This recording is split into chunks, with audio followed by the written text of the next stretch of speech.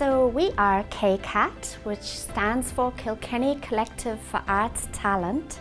So it's an inclusive arts centre and we have courses in performance arts and visual arts.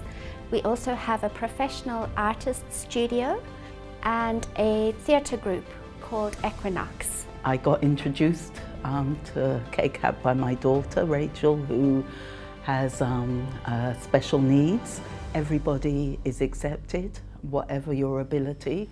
And amazingly enough, our ability grows as, we, as we're doing it.